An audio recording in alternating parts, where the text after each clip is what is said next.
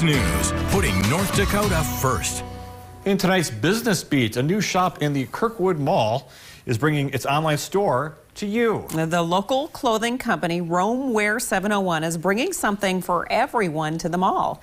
The owners began working together creating graphic tees, sweatshirts, and camis and decided to bring it to holiday shoppers. Their whole goal is to bring comfort while putting a little North Dakota flair into it.